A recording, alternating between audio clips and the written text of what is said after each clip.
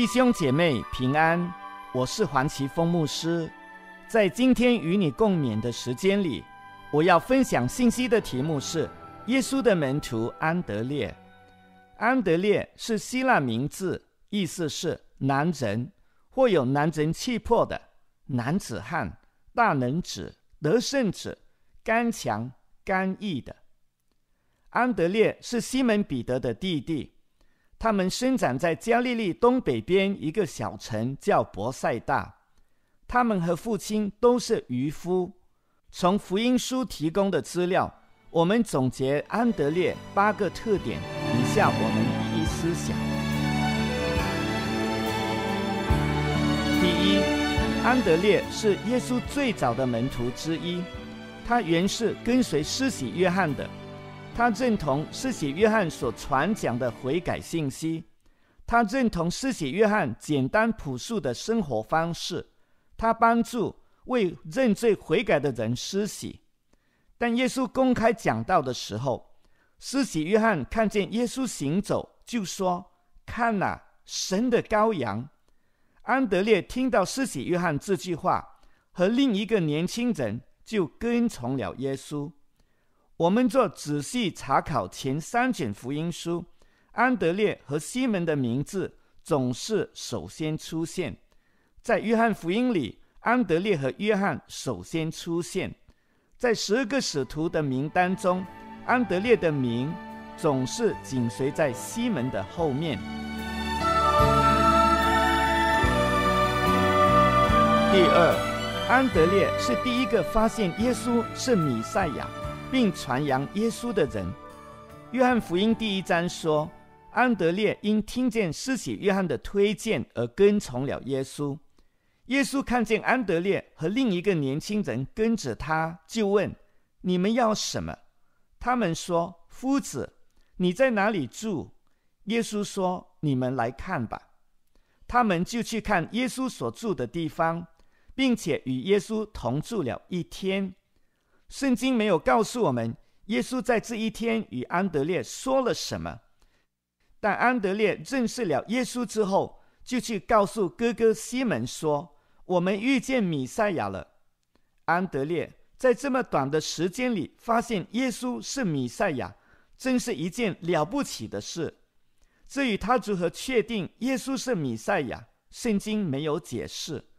我想安德烈至少。对米赛亚的预言深感兴趣，并且仔细学习思想，主耶稣也必定向安德烈显出一些证据，就像他指着撒玛利亚妇人的罪，把妇人素来所做的事都说出来，使妇人惊讶，并得出结论：莫非这就是基督？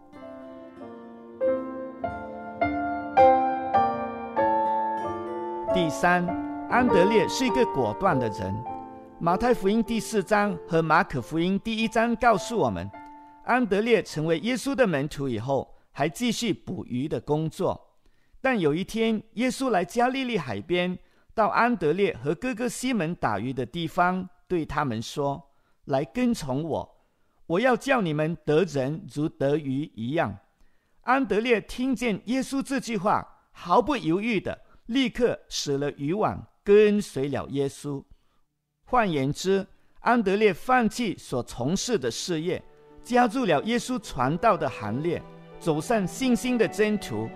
安德烈这个决定和行动，说明他是一个做事果断的人。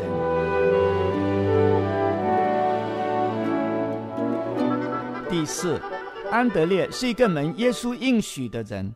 耶稣说：“我要叫你得人如得鱼一样。”纵观四福音，耶稣只将这应许赐给安德烈和西门彼得两个人。耶稣这一应许改变了安德烈人生的事业。以前，安德烈往返在加利利的海上，有鱼的地方他下网捕鱼；但从今以后，他要到处奔跑，到有人的地方开口讲道。人一听见他说的话，就被吸引归向神。就像渔夫向海面撒网，圈住许多的鱼。啊，耶稣给安德烈的应许真是美好。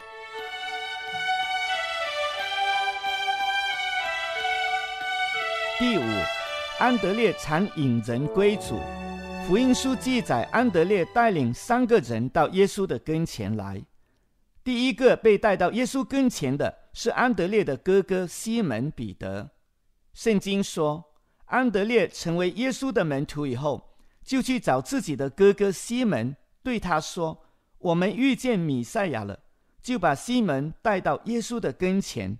耶稣见到西门，看着他说：“你是约翰的儿子西门，你要称为彼得。”第二，在耶稣喂饱五千人的神迹之前，耶稣的门徒说：“你们给百姓食物吃吧。”门徒听了耶稣的话，无所适从。只有安德烈穿梭在人群当中。直到找着一个孩子，有五个麦饼和两条腌鱼。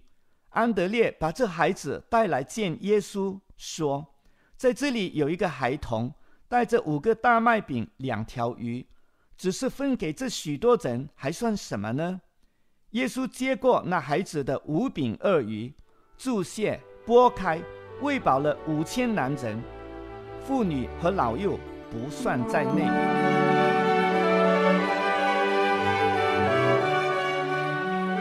第三，约翰福音第十一章记载，有几个希腊人上耶路撒冷过节，他们对腓力说：“先生，我们愿意见耶稣。”腓力带他们去见安德烈，安德烈就把他们带到耶稣跟前。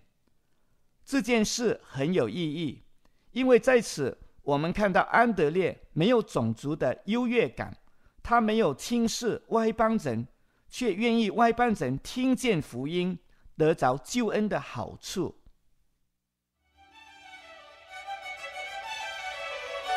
弟兄姐妹，以上三个例子让我们看到，安德烈总是抓住机会，把人带到耶稣跟前。这些被带到耶稣跟前的人都是平凡的人，但因为正是耶稣，就成为非凡的人物。这就是安德烈特特殊的地方，他不能影响这些人，不能在这些人身上做什么，他只把这些人带到耶稣跟前，由耶稣接纳他们，改变他们，使用他们，他们也成为福音的一部分。第六，安德烈是一位谦卑有亮度的人。彼得跟从耶稣之后，他的名声比安德烈更显赫，众人的眼光和镜头好像都转到彼得的身上。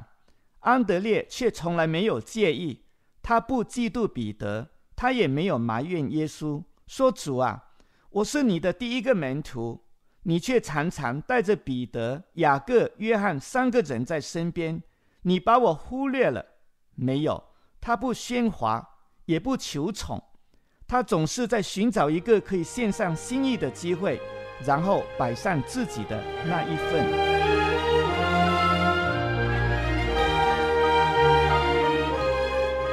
第七，安德烈关心世界末了要发生的事。马可福音十三章三到八节告诉我们，耶稣在橄榄山上对圣殿而坐，彼得、雅各、约翰和安德烈暗暗地问他说。请告诉我们，什么时候有这些事呢？这一切事将成的时候有什么预兆呢？耶稣说：“你们要谨慎，免得有人迷惑你们。将来有好些人冒我的名来说我是基督，并且要迷惑许多人。你们听见打仗和打仗的风声，不要惊慌。这些事是必须有的，只是末期还没有到。民要攻打民。”国要攻打国，多处必有地震、饥荒，这都是灾难的起头。第八，安德烈是耶稣忠诚的跟随者。他虽然比西门彼得安静，但安静的他却震动了世界。教会历史说，他一生传讲耶稣基督。最后，他被钉在一个 X 形的十字架上，还是向过路的人传扬耶稣基督。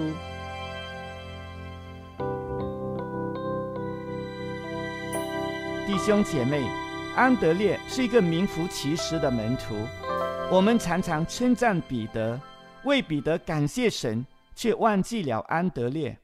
其实没有安德烈，就没有彼得。今天很多人在后方默默无声工作，我们不知道他们的名字，我们对他们一无所知。但主知道，天使记录，神会报赏他们。愿我们效法安德烈，立志传福音，不可擅自。到了时候，就被看见果效。今天的信息就分享到这里。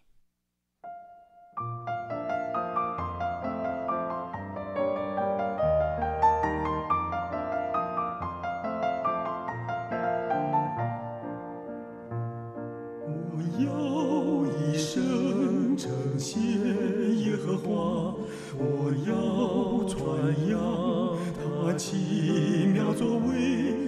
我要引他欢喜快乐，我要歌颂大圣名。